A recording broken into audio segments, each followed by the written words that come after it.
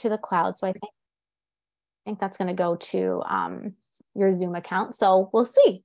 Okay. Hi, everyone. How's it going? Um, welcome to tonight's webinar on nutrition for prevention. Um, we're going to focus on how to lower inflammation, boost immunity, and find the right nutrition plan for you. So um, I would like to set an intention before um, we do anything. So our intention for um, the webinar um, tonight is to um, be present. Um, if everyone could mute their microphone, that would be awesome. you know, turn off, you know, cell phones, close other browsers. maybe you want to take some notes. So maybe take a moment and go grab um, a pen, a notebook, something like that, and just get comfy, um, get ready to absorb some information, and um, we'll dive in. So I wanted to kind of go over what we're going to be covering today. So we're going to go over um, how to use nutrition as the foundation of your prevention plan to lower inflammation, boost your immune system, um, balance your hormones, and find the right plan for you. Um, and just the key word here is the foundation of your prevention plan. So, um, you know, there's so much more that goes into it. And that's why I love, you know, being a part of Pink Warrior House and all the incredible work um, that they're doing because it's really not just you know nutrition and our physical bodies there's our whole emotional energetic body and so much that goes into our well-being and all of those um, parts of ourselves really are important to create health and harmony and alignment in our life going forward after breast cancer. But nutrition is that foundational piece that really just kind of like puts everything into place and it creates a really strong foundation for all those other parts to kind of work more synergistically so it actually brings you know more harmony into your life going forward so we're also going to talk about um, the root cause and like what's happening in your body on a cellular level. And then I'm going to give you guys some um, simple shifts that you can make right now to um, help you feel confident in how you're supporting your body to prevent recurrence. So I'll just share a little bit more about me so you know who is giving you this presentation tonight. So my name is Lauren. Um, I used to work in corporate accounting you know, classic story. I was stressed out, burnt out. I worked a lot. I didn't like what I was doing. Um, at this time in my life, you know, I had been plagued by eating disorders for like close to a decade. I hid a lot of pain that I was in from people. Um, I over exercised. I was living a lifestyle that was just like really out of alignment with my true self and you know on the outside it looked like i had it all together. I had this good job and made good money. I looked healthy all these things. Um, but i was diagnosed with breast cancer um, just before my 27th birthday. And we're coming up on um, almost eight years ago now. So um, pretty excited. So i had a lumpectomy chemotherapy radiation and it was um, right before radiation started that i learned about natural medicine. I had never heard of anything like this before. Um, it's kind of a miracle of how I even was led to more of a holistic um, route, but that's, you know, story for another day. But I started working with this naturopath and um, I have really fair skin. The lighting in here is like kind of flattering, so you can't really tell, but I'm very fair skinned and um, my skin didn't really burn from radiation. And that was just like a, a huge thing for me. Like I was so scared because I've seen pictures, you know, of what was happening to people's breasts. And I was just so afraid that that was going to happen to me because I was so pale. You can kind of see it actually, like in this picture, like my skin's like a little red. Um, like it was by the end of like my 25 or 28 sessions, like it was red, but I wasn't like, you know, peeling. I didn't have any sores. Like I was just amazed that um, my skin just didn't burn like because I was so pale. So I just was like, okay, well, this is pretty cool. Like, I'm kind of obsessed with like this natural route. This is really cool. Like using it in conjunction with, you know, my what my doctor had planned out for me. Um, so I I continued with my naturopath, you know, after treatment ended. And I just didn't love that like I was seeing her every three months. I was like wanting to do something every day. Like I was now I'm like more of like a recovered type A personality, but at this time, you know, eight years ago, I was um, just like really like trying to control everything, including, you know, it's coming from like this place of like, I want to be super healthy and prevent recurrence. But now, you know, I really understand that it was coming from like a fear based place. Um, but I just really wanted to do more for myself. Um, and I was just obsessed with food. I was just like, I can, I eat every day. So this is where I want to start. So I just became obsessed with learning more about foods. Um, I eventually enrolled in holistic nutrition school and left accounting. Um, and I actually chose to come off tamoxifen um, and manage my breast cancer prevention plan completely naturally. And I just, you know, say that because it's part of my journey. Um, it's part of how I live my life in alignment with my truth. Um, that's not everyone's path, you know, and I work with clients, you know, all over the world and like 90 to 95% of them are on some sort of adjunctive um, hormonal medication. It's all about optimizing your path for you and no matter what path you're on um, nutrition is foundational and you know some of the other things that i do with my clients as well can really help create more synergy with something like tamoxifen for example and um, help enhance its effects and um, reduce and mitigate side effects and all of that good stuff. So it's really just about you know working with the plan that you're on and feeling confident in the plan that you're on and doing what you can take control of and um, from a place of love, health, and alignment, and from like a really, um, you know, loving intention versus the fear-based intention, and really um, creating that holistic plan for yourself. So I just wanted to say that there.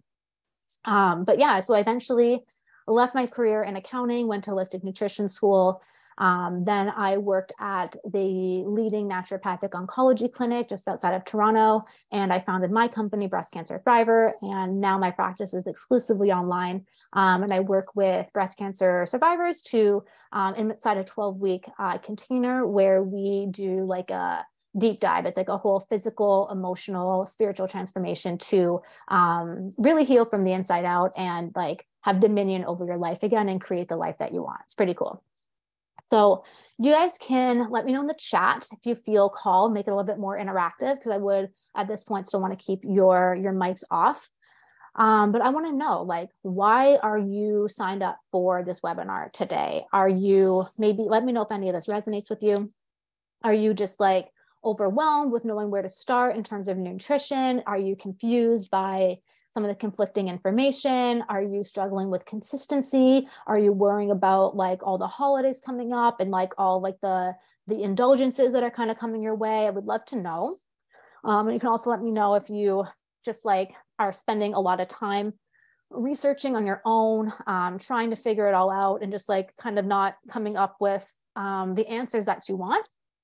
Um, or maybe you just like want to do everything you can. You want to learn more about what you can do um, to prevent recurrence. Like those are all like wonderful, wonderful reasons to um, be on the call today. So I'm just going to quickly pop in the chat. No messages, but that's okay. You're all here. So I'm excited that you're here. So um, I'm going to talk now about the first goal of the evening. Um, we're going to use nutrition to lower inflammation. And then at the end of this little section, I will pause for questions. So if anyone um, has anything, they can um, unmute, unmute at that time. So um, let's dive into this first little bit, lowering inflammation. So when it comes to preventing breast cancer with nutrition, the first thing we would do is start with an anti-inflammatory diet. And there are nuanced differences, which I'll get into later when we talk about how to find the right nutrition plan for you. Um, but there are some essentials that apply across the board no matter what you're doing. And I always use the example of like the vegan diet or the keto diet because there is so much evidence-based research supporting the health benefits of a vegan diet for breast cancer prevention but there's so much evidence supporting the benefits of a keto diet for breast cancer prevention but they're polar opposites right? So it gets really really confusing but at the end of the day no matter what you're doing there are some essential there every single one of those nutrition plans is designed to lower inflammation in their own unique ways. So we want to focus on lowering inflammation. So I'm going to teach you tonight some of the things that um, apply across the board, no matter what plan you're doing, or if you're just like vegan, keto, paleo, like hybrid, intuitive eating, like eating what feels good, like whatever it is, like these are things that apply no matter what. So that's where we're going to start. So first thing is we want to talk about sugar. Um, you know, it's not everyone's favorite thing to learn about because we all sometimes like to hold on to um, some of the things that we love. But I want to say that I love dessert. I am such like a sweet tooth. I make dessert all the time. So it's still very much like a part of my life, just in a really holistic way. So we're going to talk about that. Um, but I really want you to understand just like why it's important to have a shift in your mindset around sugar so that way you can start to make more um, informed and empowered choices about when you're going to indulge. I don't even like to say the word indulge because it's not an indulgence. To me it's just living it's life. But um, just in the, maybe while you're in this transition phase of like reframing your mindset around it it's just really important to kind of know like the roots of like what's actually happening to your body on a cellular level when you consume this stuff so that way it can make it easier to um, make a choice to have it in love and reverence or be like actually no i don't want that today. So let's get into it. Um, sugar you know it's i would say it's one of the most inflammatory substances we can put into our bodies. Um, you know it is inflammatory and it has you know ties to like every chronic illness but it's super connected to heart disease and cancer. So you may have heard that sugar feeds cancer which is true but indirectly. And this is where we're going to spend like the most of our time today because if there's there's two things that i really want you to take away um, from this presentation and this is one of them. So when breast cancer cells become rogue. They differentiate themselves from regular healthy cells. And like we know this like when we received our diagnosis we received like a stage and we received a grade. The grade is like how differentiated those breast cancer cells are from normal healthy cells so, one of the ways that these cancer cells differ, they differ in many ways, but this is one of the most important ones, is that they actually develop up to 10 times more insulin receptors than normal healthy breast cells. So, this is really, really important because when you, let's say, eat something that um, has a rapid release of sugar. Let's say you just ate like a pile of gummy worms, like sour gummy worms, okay? Like you ate a bunch of that. That's gonna have like a really, really rapid release of insulin. And if you have these cells that have like 10 times the amount of mouths on them than like your regular cells, then they're gonna get that energy like a lot faster.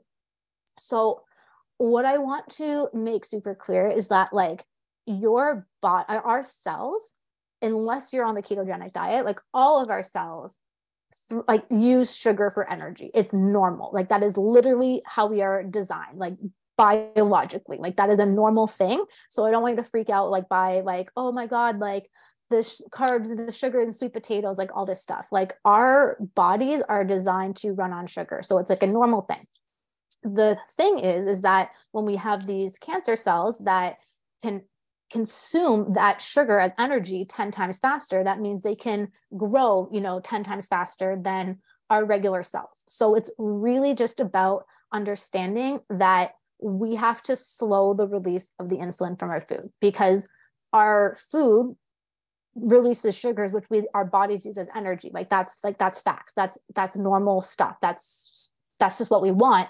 But we don't want to have these like super like rapid releases because that's what creates the the feeding frenzy. So it's not so much like we want to stop insulin from happening like that's impossible unless you go ketogenic which many of us aren't going to do. So we have to work with our food to make it not as like spikes like dips and valleys. We want to have a nice slow release. So that's what we're going to talk about. So just want to make that super super um, clear. I'm trying to move this bar. I don't know if you guys can see it but it's on my my way. So hopefully that's cool. Um, but anyways and like i see a question in the chat so i will um, open the floor for questions once i'm finished this in a few minutes. But that's just really what i want to to drive home is that like our bodies use sugar in our food as energy. It's normal. Cancer cells also use it for energy, but they can get that energy 10 times faster. So, the goal with using nutrition is to slow the way those sugars are released. That's all we're trying to do. So, people get really freaked out by this and they're like, oh my God, I can't have sweet potatoes. I can't have fruit, all this stuff. You absolutely can. It's because having a strawberry or even like a pile of strawberries is not going to have the same effect in terms of insulin being released as eating like a big pile of white pasta or a big pile of candy, for example. It's not going to have the same. And we're going to talk about, you know, why um, in a minute on the next slide or two. But I, so I don't want you to worry if you're having like carbohydrates and things like that. Like this is how our bodies are designed. It's really just about now working with that so we can eat in a way that's more supportive overall to breast cancer prevention recurrence. So hopefully that's clear and I'll get to some questions, um, you know, in a minute. So um, the one thing that I want to kind of say here, we're going to get into some quick tips, but I don't like the word remove here. Um, I really want to iterate that I don't want any part of life after breast cancer to feel like restrictive in any way. Like you're not restricted in your food, you're not restricted in your move, you're not restricted in your life. Like I literally have a sticker like on my wall behind me that says your desires are your destiny. Okay. Like I don't want you to be restricted in any way. You get to create the life that you want from this point forward. Like you are um, the conscious creator of your experience. So it's just about working with that. What I want to really iterate is that like we get to make choices. Like life is just all about choices. And I, like I said, like I have a sweet tooth. I make dessert all the time. Every time I go to a friend's house, I pretty much bring over brownies. Like I bring over like a apple crisp. Like I, I love to bake. So I bring stuff when I go to people's houses. I love dessert and that's what I love to bring. So it's about making informed, conscious, and empowered choices. So that way, if you do have something, you're like, yeah, I want that, and I'm choosing to do it, versus being like, actually, maybe I don't want to do that. So it's really just about um, really shifting the mindset from like, oh, I can't have sugar, I can't have this, I can't have that, I can't have this pasta, I can't have this pizza. Like, none of that restricted energy. It's about like, oh, I understand how this affects my body on a cellular cellular level. I'm going to choose to eat this instead because that's more in alignment with how I want to feel and how I want to live my life going forward. So I don't want you to see it as like restriction. I want you to see it as an act of self love. And like I said, like nothing's ever off the table. It's just about making more informed and empowered choices. So that definitely want that to come across. And then the quick tip, you know, is to apply what I call the PFF principle. That stands for protein, fat, and fiber. So that's how we can work with our food. If we add protein, fat, and fiber to the sugars that we're eating, like the carbohydrates in our food, it naturally slows the release of the insulin. So, using the example of like the plate of pasta that I brought up, um, may or may not be going out for Italian tomorrow night. Um, it's on my mind like adding some chicken to that pasta for example is a great way. Now you're adding more protein so there's something else with the pasta to slow down the release of the sugars from the food. So adding avocado to um, avocado toast for example maybe some hemp hearts something like that. So you're adding more protein and you're adding some fat to it. So it's really just about getting in the mindset of like how can i add like what can i add to this to make this more supportive for me? So that's how i look at my food. Um, so i love like avocado and i love hemp hearts and i love like tahini dressing. So those are really easy ways that i always add like more fat to whatever it is that i'm eating. Um, and then you know just kind of being mindful of like reading labels and looking for things that maybe um, are sweetened with like raw honey or maple syrup or something like that. So those are just kind of, um, you know, my suggestions that you can start right now that are like really relatively simple, I feel, um, and just kind of working them into your life. So really seeing that these aren't um, restrictive, you can have anything you want but it's really just about the informed, empowered, conscious choice, and then applying the pre, the PFF principle um, when you can. So um, I'm going to pop into the chat. Um, okay, I don't want to read all of this right now. It looks like really specific about supplements and things. It was messaged directly to me, so I'm not going to read that right now. Um, I just, if you're going to pop something in the chat, just going to be like a short, um, like really clear question um, that would be helpful just so I can like read it and answer. Um, does anyone have any questions right now? Feel free to unmute. Um, I'll wait a minute and then I will um, move on.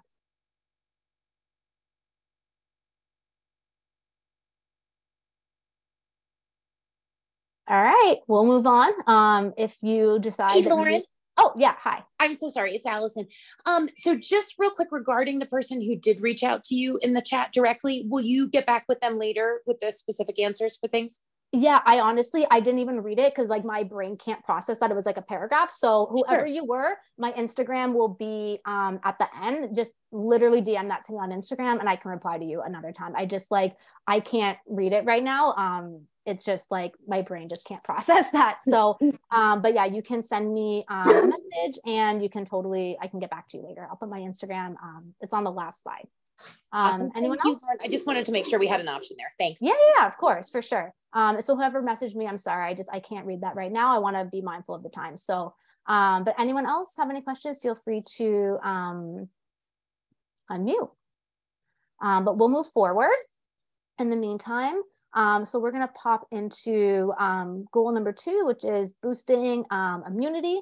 So, um, you know, we learned just a minute ago about how we can lower inflammation by lowering total insulin. Like it's one of those things that we just want to be really mindful of because insulin is, you know, super inflammatory. So what I'm going to teach you now um, also lowers inflammation, but I wanted to put it under the immunity category instead, just to like break it out separately. But like, you know, for anyone who wants to follow me on Instagram after or listen to my podcast, um, I'm always talking about ways that you can lower inflammation. It's like literally it's all I talk about. It's like my soapbox that I'm constantly, you know, standing on.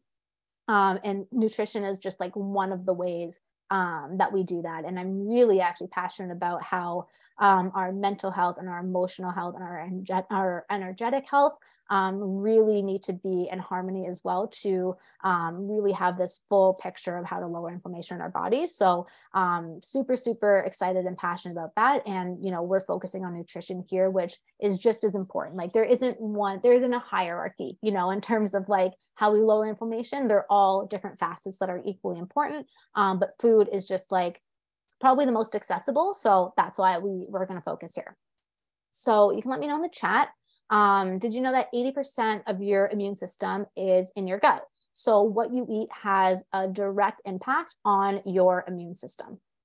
So, you know, we're going back to again here. Um, I don't want any of this to feel like restrictive in any way. It's just information that you um, can use to make an informed and empowered decision about how you want to move forward. So, um, dairy is another thing that um, you know really creates it can create inflammation in your body um, and it does impact immunity so why this happens is because the human body just actually doesn't digest the sugar in milk lactose after about the age of nine because we like just stop producing the enzyme um, so we don't digest it properly and if we don't digest something properly um, our immune system is like, this is a threat. We have to go neutralize this right now. So it's just taking resources and energy away from your immune system.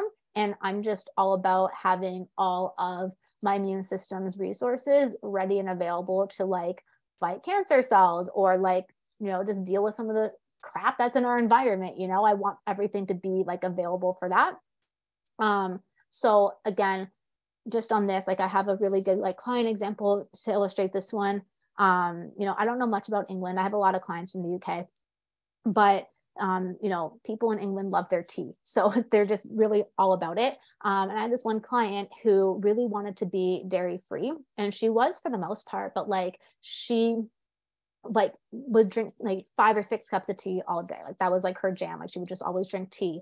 And she liked her tea with milk and she tried like oat milk she tried cashew milk she tried coconut milk she tried almond milk she tried soy she tried every type of milk you could possibly or non-dairy milk you could try and she just like didn't enjoy the taste of her tea with milk. She's like i like it in everything else i'm fine with non-dairy alternatives but with when it comes to my tea it's like ritualistic for me like i want my tea to be this way. Um, and she was like beating herself up because she like couldn't be fully dairy free and it's like are you kidding me? Who cares? Like have your little bit of milk in your tea, right? Like it's like even if it was more, like I want everything to be empowered because really your um your energy when you are digesting and metabolizing your food actually affects how you digest and metabolize your food. So if you're like drinking this like massive cup of milk and you're like, I love this milk, this is the best thing ever, you'll literally actually like use less resources from your like new immune system to like digest that dairy properly than if like you didn't do that so like really just like making a present choice in alignment with your highest self is key. So again, like I just don't want any of this to feel restrictive. So just want you to know it's totally okay. Just like be aware and then choose. That's it. That's really what life is about. Is just being aware and then making choices in alignment with your goals. So that's it. So for her, it was just a big reframe to be like, it's actually okay to have this bit of dairy. Like there's nothing inherently wrong with that. Um, and just she was so excited. Like it like made her so happy that she like felt okay to have that. I'm like, yeah, of course you can. So anyways, that's that. Um, it's the same type of thing with gluten. Like I'm not going to spend a lot of time here, but um, it's just difficult for the human body to digest. And again, it can just take resources away from your immune system. Um, and I want all your immune system resources, you know, readily available. So I'm not going to get into any of that, but um, you know, really just iterating here that nothing about this I want to feel restrictive. It's just information that you can do what you want with it, you know? Um, and just to use that information to make more informed and empowered and conscious choices. Um, and I brought them up today because like the gluten and the dairy, like the alternatives are really, really, really accessible. Um, like they're everywhere and they taste really good. Um, like I have this story when it was probably like 15 years ago. Like I was in my first or second year of college and I was working at this cafe and there were these two girls I worked with and they were roommates and they were both celiac. And you know, they lived in student housing, like it wasn't like super glamorous or anything like that. And um, they used to have this joke where like if anybody like robbed them in their student house, that like the only thing that had a value was what was in their pantry or their fridge because back 15 years ago like they had to special order like gluten-free wraps and things like that because it just wasn't available at regular grocery stores and it was so expensive so times have changed. Um, these are really accessible. So i just share the information because um, maybe you didn't know it before and now if you're like shopping and you were going to buy like wraps maybe now you'll just try a gluten-free one just to see you know? Um because you can be like oh like i'm keeping more resources in my immune system now by having this wrap. So it's really just about um like making these like this information like really practical. Um and really easy to incorporate into your life going forward um so does anyone have any questions about that can unmute not, I'll go forward. Okay, so um, this is really important. This is like my favorite thing to talk about. So it's really about finding the right nutrition plan for you. Um, because as you know, there's a lot of information out there. A lot of it conflicts. Everyone says like their way is the best way. It's like, this is it. Um, but that creates so much confusion um, and overwhelm and stress and anxiety and all the things. Um, so what I shared with you so far are that like no matter what nutrition plan you're on, so no matter who's telling you what, they're all they all want you to lower inflammation. So they all want you to just have an anti-inflammatory diet. So regardless of you know what type of that plan that looks like for you, everything you learned so far today, you know, applies across the board. So if you were my client, for example, and you were um, keto, I would still want you to be uh, dairy free, for example, although that's technically like allowed under that type of diet, like I would still encourage uh, dairy free keto just because of what I shared with you about dairy and your immunity and inflammation, etc. So all of everything you learned so far, like I say to everybody across the board. And now it's really about finding like the nuanced plan that's really going to fit you and your body. So um, just kind of want to say here, like why there's so much conflicting information um, and why you know different nutrition plans will work for different people it's like how can there be like a whole body of research, research supporting veganism and a whole body of research supporting keto? Um, the diff- the reason is because we're all biochemically unique. Like we all have um, different dna we all have different um, levels of nutrients that we require to be at optimal health and to have optimal genetic expression. Because um, our genes are not our destiny. We actually have epigenetics and we get to influence the expression of our genes.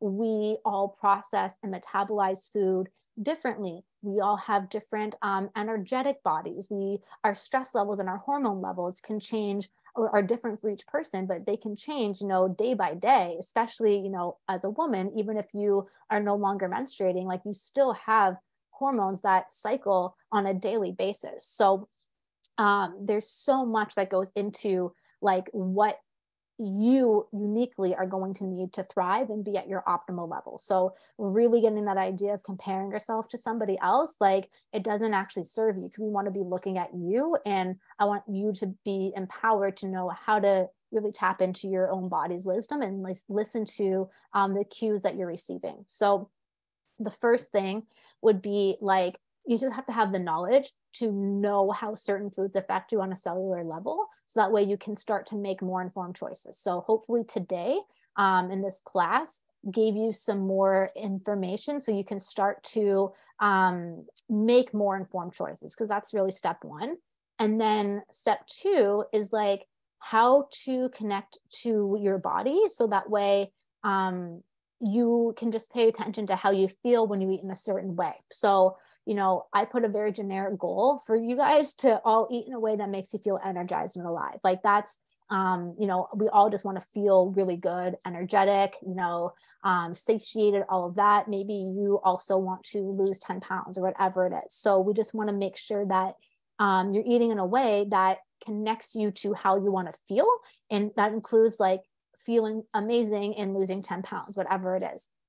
So how we do that is to listen to the feedback that we're receiving. So first do we look at, you know, do you have any, like, can you go, how long can you go without eating? Are you hungry every three hours? Do you need a snack? Um, are you craving things that are salty? Are you craving things that are sweet? What time are you craving things at? Do you happen to lose energy at 3 p.m.? What happens when you have a coffee? What happens when you don't have a coffee? Do you feel bloated? Um, like all of these types of things are clues from your body that the way you're eating is either working or not working for you. So we have to look at the way you're eating. And then from there, look at, okay, now you're eating this way, what's actually happening. So, as an example, um, let's say you, after this webinar, are like, I'm really empowered to make some shifts to my nutrition. I'm going to, you know, remove refined sugars. I'm going to be gluten free and dairy free, and I'm going to start there like you'll probably feel like pretty good just like doing that for a little while but eventually we just kind of like plateau because the initial like feeling of like making those like baseline choices it kind of like it's that's the first level. And then your body might tell you oh you know what? I'm really tired every day at like 1 p.m. or like I'm I crash now like 20 minutes after I have a coffee or I need a snack every 3 hours or whatever this is. So it's really about okay, well, you made these choices like you are now gluten-free, dairy-free, refined sugar-free, cool. But now let's look at what your body's telling you and we tweak from there. So it's like okay, um, you are craving food every couple of hours like you need snacks often Great, let's try bumping up your protein. You're craving stuff? Great, let's maybe do some more protein, some more fat earlier in the day. Let's reset your dopamine, like that type of thing. So it's really about um, just looking at what your body's telling you and then using that as feedback to tweak accordingly until you find your sweet spot because what I do, like I can never pigeonhole a client into a right plan. Like I'm never going to teach you like this is the way you have to eat and only this way. I want to empower you to really be connected to your body and that way like because your body is going to always shift like we're not meant to be these like rigid beings like we're so cyclical so the way you eat can change over time and i want you to be set up so that way when things shift or if they shift um, you're prepared. You're not stressed out again like oh my god like i um like i was eating so good but now like i just i can't get this last 10 pounds off like or i'm constantly craving things at night now. Like i want you to know that that's just feedback that you can now play with and you're set up to know how to tweak that for you if that makes sense. So i'll use myself as an example um, I used to be a really big proponent of intermittent fasting. I thought it was great for me, and it was for a period of time. Um, but fasting, if not done when you are like in a state of like more like nervous system um, relaxation, it actually causes a lot of dysregulation. So when I was in Mexico and I was going through a big transition, um, fasting just wasn't working for me anymore. Um, and I knew that because my anxiety was so much higher. Um, I was getting cravings for things out of like I was constantly craving sugar. It wasn't just like a afternoon thing or an evening thing. I was constantly craving sugar. Like the foods were always on my mind. Um, and I was just like more irritable and I started to have like some skin issues. So it was just fasting was causing me more harm than good. So I'm like, okay, time to tweak. So what I'm doing now um, feels amazing. And I don't know how long I'll be eating this way for, but I was intermittent fasting for like a good year and a half, two years. And it's just like, I was able to see right away when it wasn't working for anymore and I had to pivot and do something different. So I just don't want you to ever feel like like I keep saying like life after breast cancer isn't about control and fear and rigidity and so often we hyper focus on food because it is something that we can control. But um, I'm very anti diet culture, you know, with my experience of eating disorders in the past and all of that. So it's really about um, being connected to your body and really um, being free and capable to trust the decisions that you're making about how you're nourishing yourself and that it truly is the best way for you. So, um, think I kind of touched on all of that. So uh, does anyone have any questions about that before um, we kind of do a quick recap and move into um, anything else? Another little question and answer period.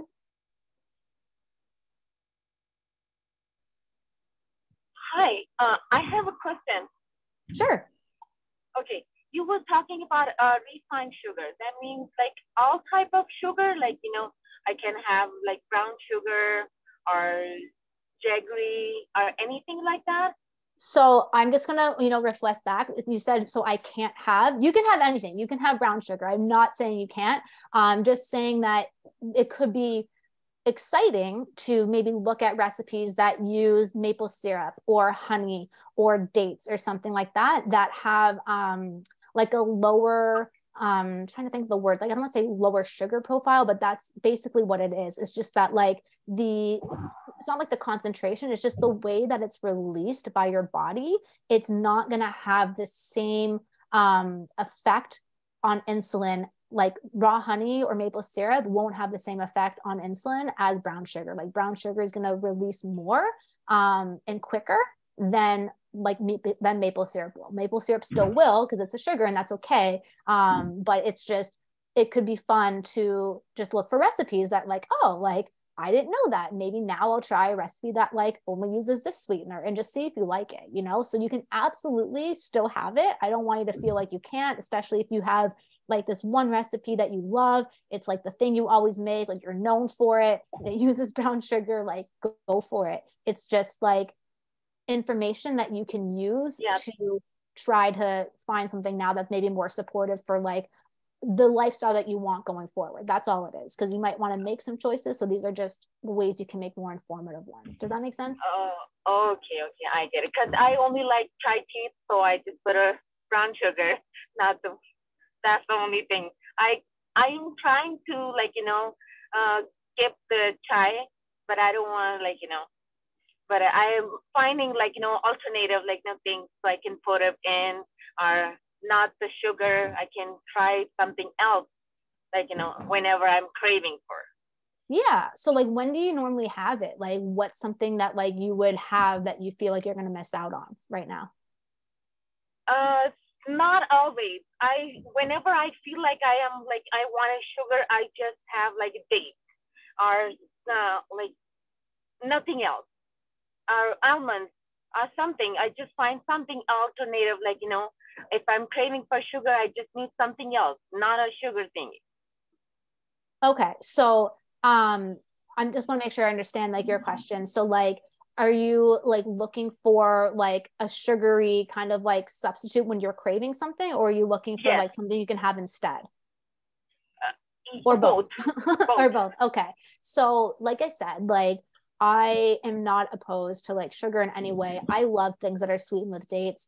Um, and if you just were like, I want a date, I'm not gonna hate on you for having a date. You can totally, but if you wanted like a couple dates with some almonds. Like that's applying the PFF principle because now you're adding protein and fat from the nuts with the date. So it's still obviously going to release insulin into your body, but it's not going to be as quickly as if you didn't have the almonds with the date. So that's just something that if you like that, that's an easy snack for you when you're craving something. It's like cool. Like maybe now you just have some almonds with your dates, and that's a really simple solution that like meets you where you're at, you know?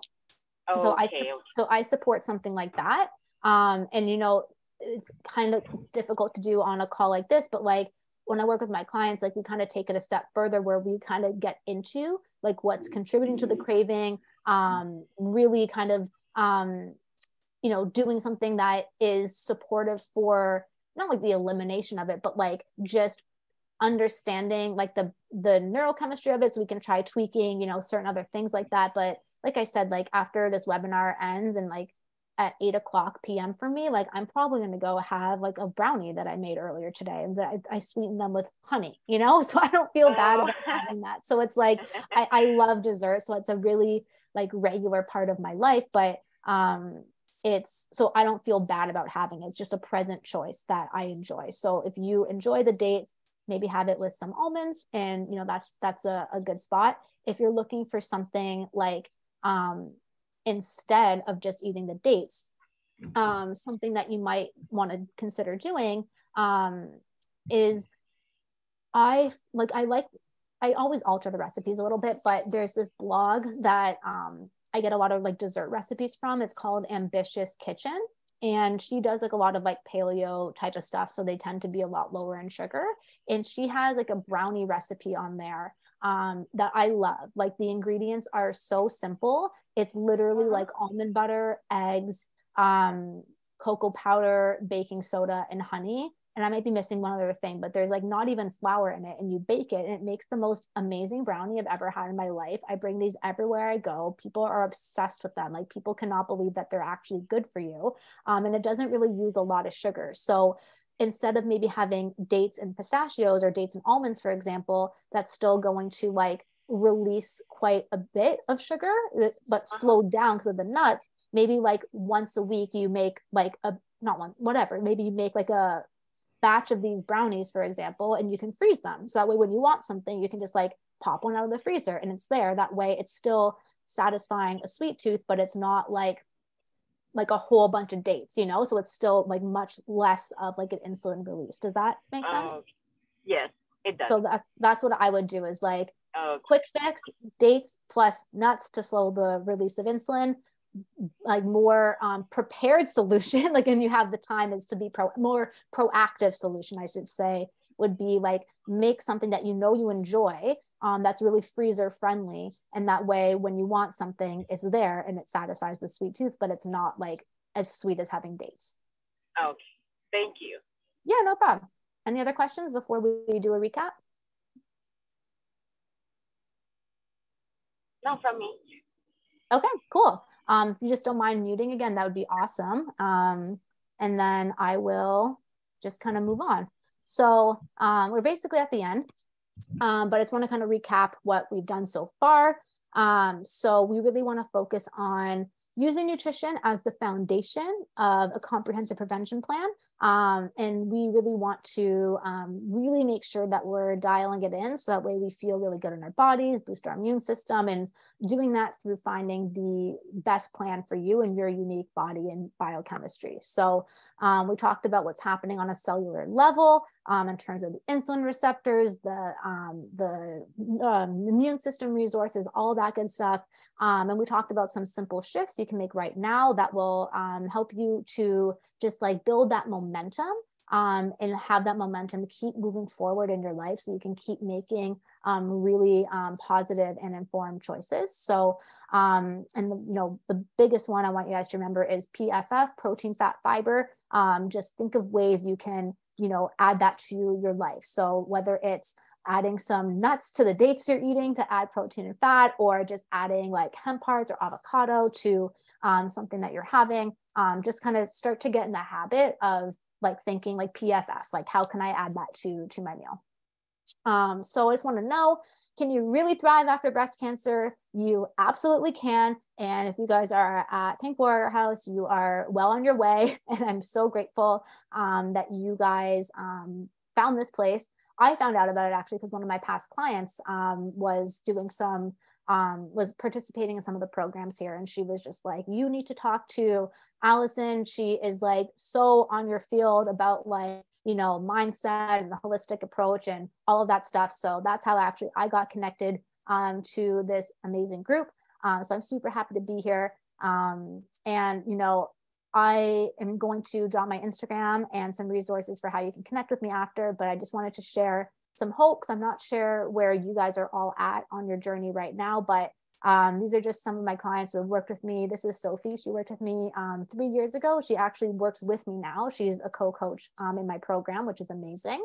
Um, Sarah, you know, just screenshots for days about people who have just like gone through the course and they just you know have um you know just a clear path forward now that really addresses the totality of their being. So from like the day-to-day stuff of like what am i eating? How am i nourishing myself? To like the thoughts that kind of pour in and having um like an outlet and like a framework to actually reframe them in a way that sets you up for like thriving um, not just, you know, for the next like month or whatever, but like for life thereafter. Like my client Sophie, who literally now like works with me because she's just like the embodiment of like living in alignment, which is so amazing. So um, I'm dropping my Instagram here. It's at I am breast cancer thriver. So anyone can connect with me there, send me a message. Um, and for um, the person who sent me that private direct message earlier, just feel free to DM me here. Um, I have a Facebook group called Thriving After Breast Cancer. It's a free group you can join. Um, and then I also have a podcast. It's called Breast Cancer Thriver, and it's on um, like every platform that you could listen to podcasts on. So like Apple Podcasts, Spotify, um, Stitcher, Google Podcasts, wherever you find your podcasts, you can check it out there. Um, so there's tons of information on there about um, what we talked about today, um, and so much more. And really, a lot of the topics are on like the the emotional wellness and really like just moving through this diagnosis and recovery in a way that um, grows you. Because i really do believe that like whatever our experiences are whatever our circumstances are um, we can move through them in a way that creates growth. So it was not easy to get to that point in my life but um, i'm really grateful that i'm here now and that i have this growth mindset so that way no matter like what challenges lay ahead um, i feel like emotionally available and equipped to um, be with what comes so anyways that's that. That's the presentation for this evening. Um, i'm going to stop sharing my screen and i will stop recording as well